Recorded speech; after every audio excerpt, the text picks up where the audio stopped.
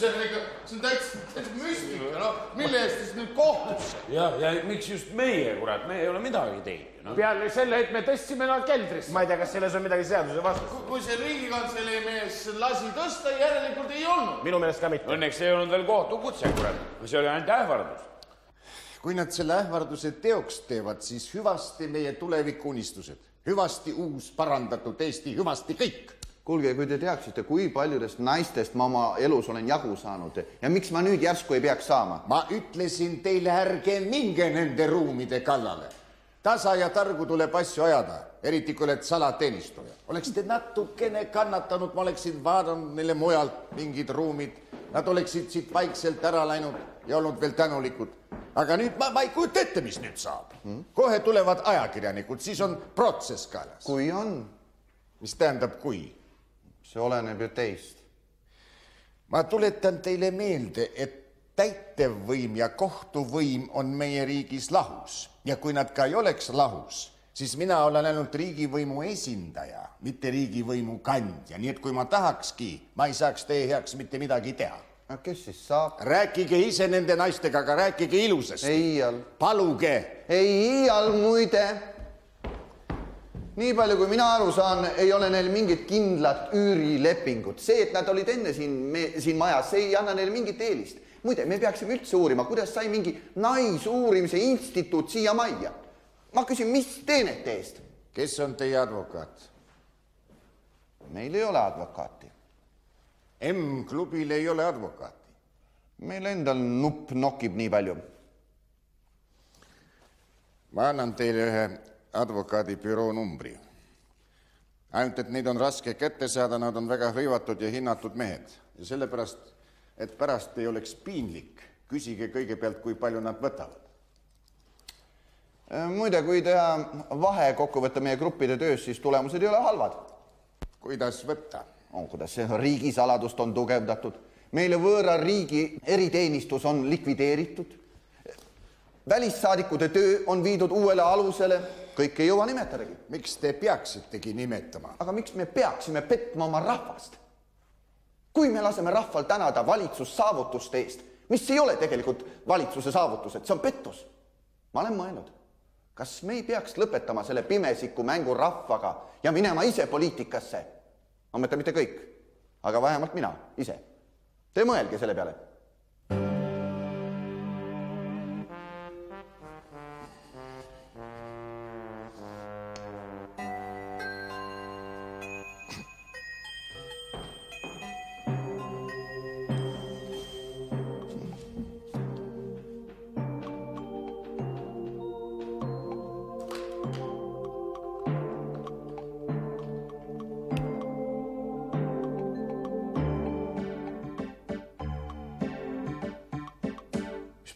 seda ütles? otse.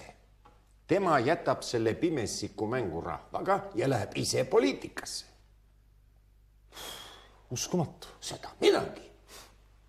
ma lootsin, et meie oleme mõttekaaslased. vähemalt selles, et riigile võivad kasu tuua ka need, kes ei trügi esile, vaid oskavad varju jääda. sellepärast, et saad aru, mina ise olen kogu aja varjus olnud ja selles on omaette võlu varju jäämise kultuur on omaette kultuur ja sellepärast ma mõtlesingi, et teie, tähendab kogu teie seltskond on üks mm. väheseid, kes seda mõistavad. aga nagu ma näen, trügite teie ka vägisi valguse kätte nagu ööliblikad, prožektorite ja välklampide särasse. no see võis olla tal juhuslik meeleolu. katsuge juhtida tema meeleolud natukene rahulikumasse sängi. ei, kindlasti, kindlasti.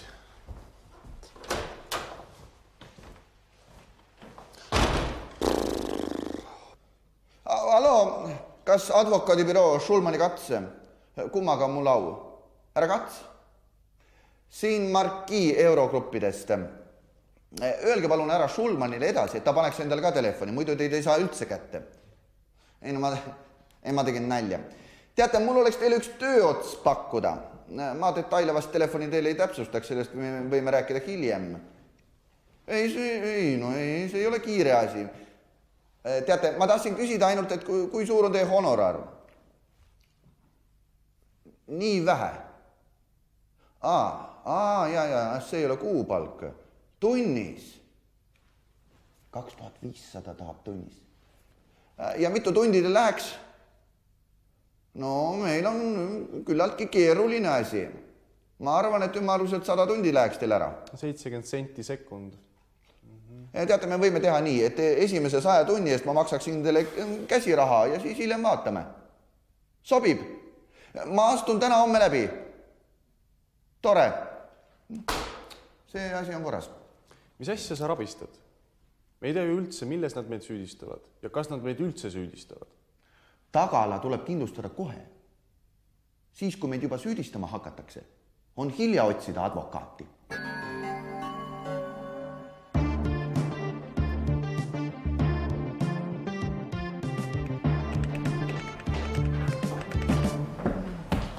tervist, tere, ma paluksin sellelt arvelt mulle kakssada viiskümmend tuhat.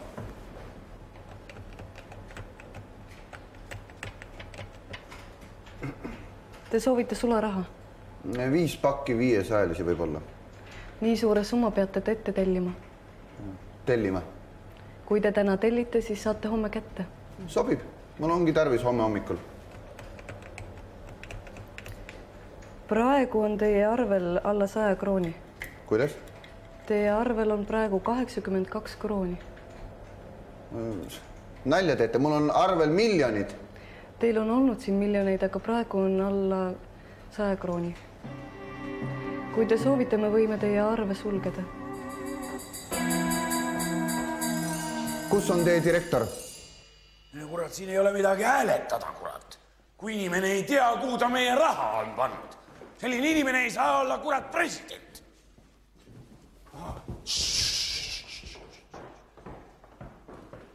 stopp, rahune nüüd. Sa tead väga hästi, et Marquis pole ka minu presidendi ideaal, aga võtame asja rahulikult. rahulikult. võtame asja rahulikult. nii. oled sa kindel, et siin ei ole sinu allkiri? ma tunnen oma allkirja. jaa, aga maksekorraldus ei ole sinu kirjutatud. ma ei oleks kandnud meie klubi miljoneid mingi naisuurimisinstituudi arvele. ma ei ole seda teinud, ei ole. täielik müstika. kuradi müstika, sinu allkiri, järelikult sina, igal juhul minu silmis. Meie klubil praegu presidenti ei ole. mehed, mehed, mina räägin teile, kuidas see asi oli. ega tegelikult see asi nüüd niimoodi ka päris ei ole. ega meie ka ei teadnud, et see niimoodi läheb, sellepärast et meie ei tahtnud mitte mingit omakasu. ja teie? meie ja. me mõtlesime, et noh, see, kellele raha anname, et tore oleks, kui see tänab või niimoodi, no ära märgid kuskil. et saaks klubi heasse valgusesse korrakski. meie mõtlesime, et anname efekti pärast no naisteasutusele. ega meie ei teadnud ometi, et meil siin naistel on nüüd noh, kohe selline asutus tead. miks, miks te kurat naistele andsite siis? kurat, kurat, kellele siis, kurat? no kui nad andnud mõnele kuradi teleseriaalile siis kurat. kui te siuksed sponsorid tahtsite olla, nad oleksid siis vähemalt teinud midagi, mis oleks olnud midagi ja, võib-olla. ja, ja. kurat, mehed ei tea, mis praegu maal toimub, kurat. inimesed vaatavad siukest kuradi sodi, tead. andnud siis neile, kurat, kui, kui, kui teil see kuradi asi niimoodi, kurat, kibeles, kurat, sügeles.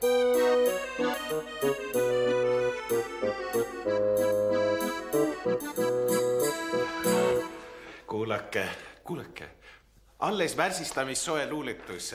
tintki pole jõudnud veel ära kuivada. Ajel juhuse ja saatuse kapriisi, sulle tüdruk nimeks pandi Liisi. ma vaatan sind ja imestan, et Lilli pole nimeks sul, kui kastad minu lilli kabinetis. hästi ilus luuletus. südamlik ja lihtne. no ja ma arvan, et nagu kogu minu luuleparemik. ma usun, et see ainuüksi teist inspireeritud värsipaar kuulub minu loomingu plusspoolele. kust need siis olid, kust te nad tõite siia? tõin. ai, see on teist, keda tahtsite rõõmustada, vana murumehe süda. ei, ma viisin igasse kabinetti. Need on instituudi lilled, neil ei olnud seal keldris valgust. aga mulle, mulle ei meeldi see, et need naised sinna keldrisse kihutati. Miks te nad sinna siis kihutasite? kas mina? aga markii ja need, magister käib ringi-ringi ees nagu mingi tähtis tegelane. Te olete nii kriitiline oma sõprade vastu. no see on teadlastevaheline solidaarsus, olgu nad või naisteadlased. teadust ei saa teha, kui ei ole tingimusi. ükskõik kui geniaalsed need naised ka ei ole seal keldris, nad jäävad kängu nagu need lilledki. Miks te ainult hädaldate, kui teil neist naistest nii kahju on, siis tehke nende heaks midagi. Te olete ju mees. no ja, no olen jah. no mis ma üksi teha saan? no ükskõik mida. kirjutage kasvõi luuletusi. luuletusi neile lohutuseks, jaa. seda ma tahan, seda ma suudan. Lohutusluuletus. no nii.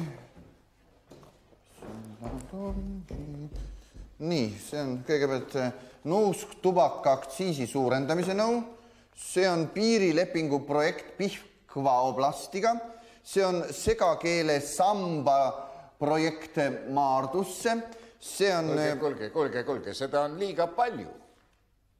valitsus ei jõua kõike seda läbi töötada ja rakendada. Rakendage kohe, läbi töötada jõuate alati. jah, ja siin on ka minu poolt mõned asjad veel. Need ka veel? kui te nii palju kirjutate, millal te siis mõtlete? Need kõik ei ole minu kirjutatud. meil majesteedil on palju ideesid. jah, tema kohta isegi üllatavalt palju. no mis teil salajastel meestel viga? Tõmbate niiti ja jälgite mängu, aga mina pean kõik need paberid valitsuseni viima ja neid seal ükshaaval kaitsma. jaa, avalik poliitiline tegevus selle niidi tõmbamisega võrreldes ausalt öeldes ei kujuta üldse ettegi. mina ka, see ei ole minu jaoks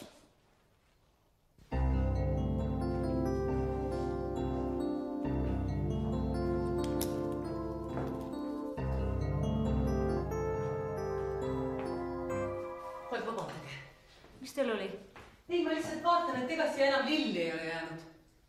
viite kõik üles tagasi jaa, seal on nii õhku ja valgust mm? -hmm.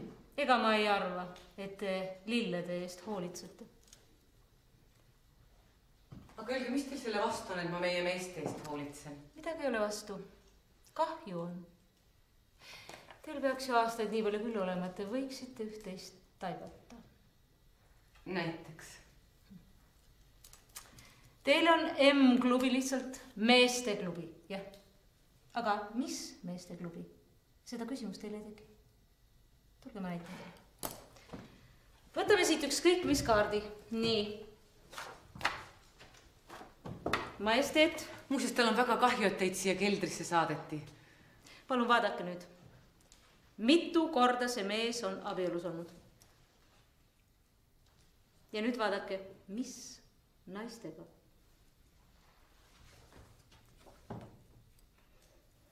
näete? näete? tere, tütarlapsed. tervist. ma, ma pidingi just minema. palun istuge.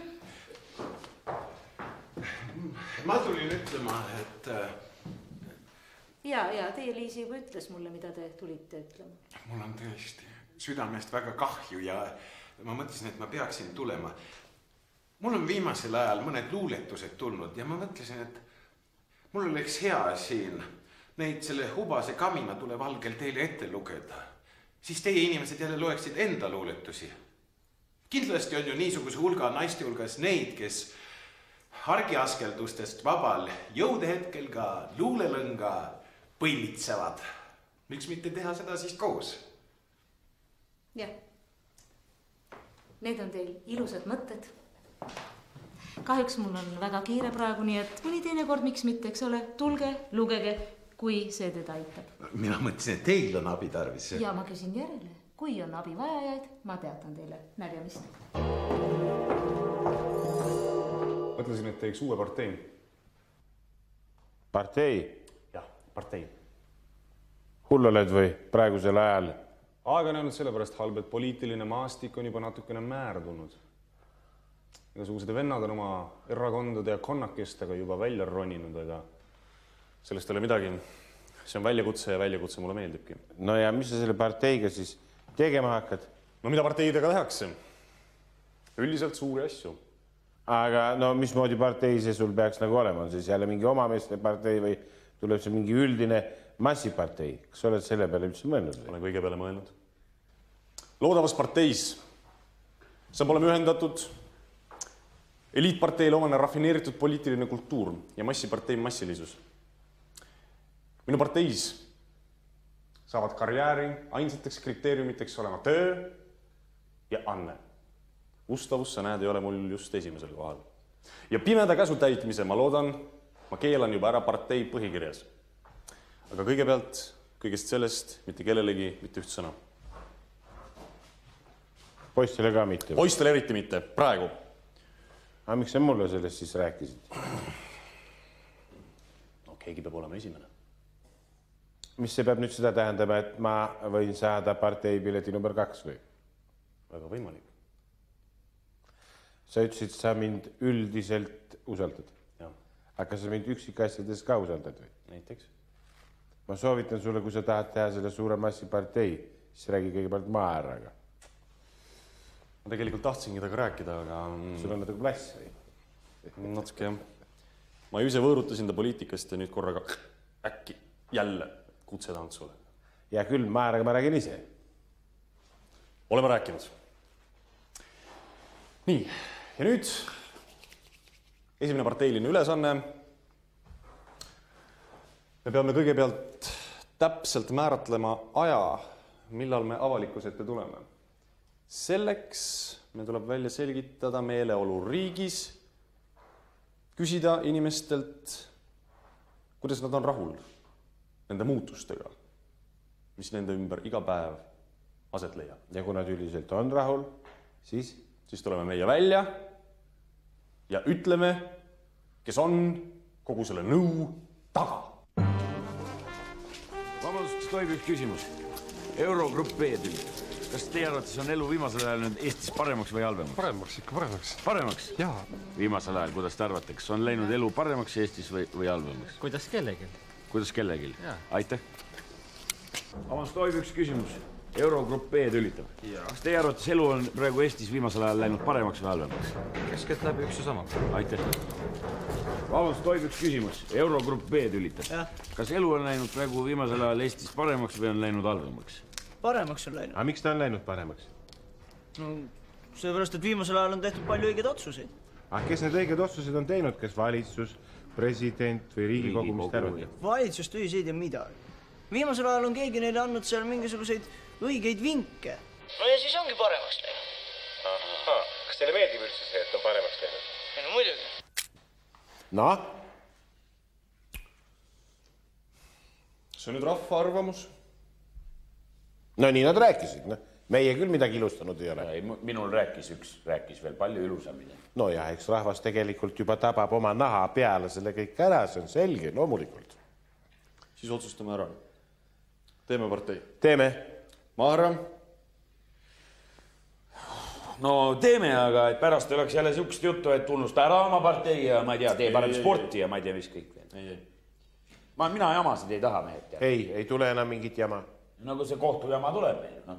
ei, kuule, see on mehed nüüd esimene asi, millega peate ära harjuma. eriti alguses, kui meid veel ei tunta. me ei saa valida, kuidas tuntuks saada. kui me kardame sattuda segastesse olukordadesse, kui me kardame mõne väikse pleki sattumist oma poliitiku põllele, kuhu hiljem niikuinii mõni uuem ja suurem plekk lisandub, mis selle väikse pleki kinni katab, siis me võime poliitika mõttest kohe loobuda. pärast kui meid juba tuntakse, me võime mõne skandaali vahele jätta, aga praegu me ei saa sellega riskida. no võib-olla oleks targem kohe algusest peale see protsess kaotada. kaotajatele tunneb rahvas palju rohkem kaasa. väga õige muide. omal ajal ma mäletan, kui sa pidevalt võitsid, rahvas hakkas vilistama, noh.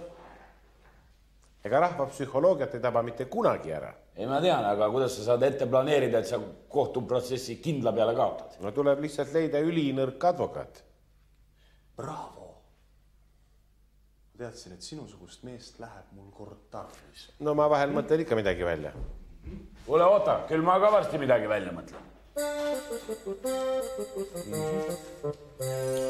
vastab siis ikkagi tõele, jah? mis asi? et hakkad poliitikasse minema kuulujutud mm.. aga kindlast allikast. muide, üks soovitus mm?. Kui sa tahad koguda poliitilist kapitali ja kokku hoida muud kapitali, siis võta nii odav advokaat, kui sa vähegi saad ma ei tea ühtegi odavat advokaati mm.. sa tead ainult ühte kallist, jah? jah. aga küsi siis tema käest. kuidas ma tema käest küsin, ma lubasin talle kakssada viiskümmend tuhat cash. Küsi tema käest. palju maksab üks niisugune advokaat, kes protsessi tingimata kaotab? see on niikuinii kinni. kuku mm.. halloo? Kats? härra Schulman, siin Marquis Eurogrupp